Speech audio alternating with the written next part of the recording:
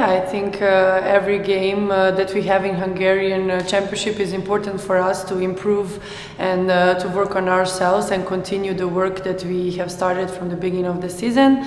Of course, we of course we don't underestimate any opponent, so we will uh, go to this game 100% focused and uh, yeah, hopefully bring home two more points. Yeah, of course, it's really nice. Uh, we we won all the games in the Champions League, and uh, I think we are really improving uh, game by game. And uh, you can really see this, how to say, good atmosphere in the team. And yeah, that's really good. And hopefully, we will continue like this.